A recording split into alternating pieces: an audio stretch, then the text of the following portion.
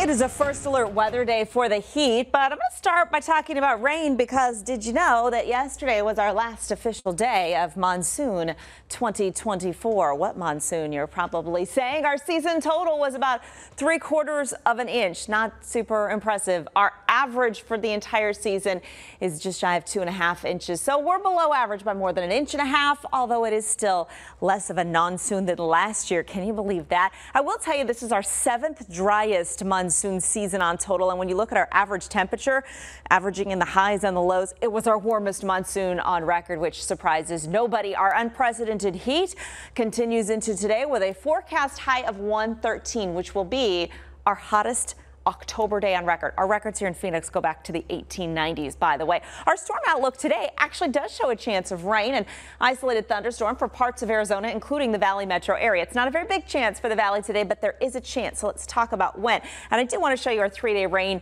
outlook because we have a chance for showers and thunderstorms in the high country again tomorrow. But you can see this isn't really picking up on anything. We're not talking about a lot of measurable rain. It's mainly going to be light.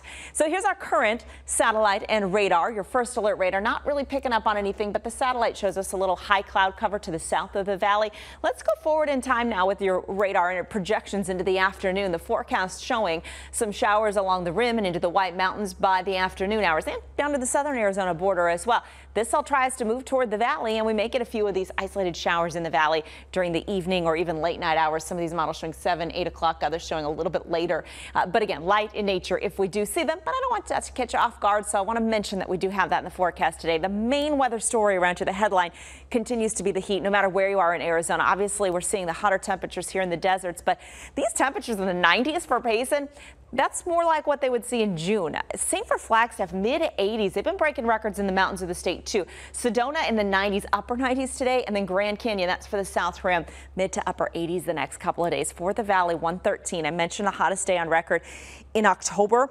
This will also be our hottest of the next seven days, although this is not a lot of relief. 108 to 109 through the end of this week. Our first alert weather days and heat warning uh, expire on Friday night, but at this point it's looking pretty likely we're going to have to extend that through the weekend.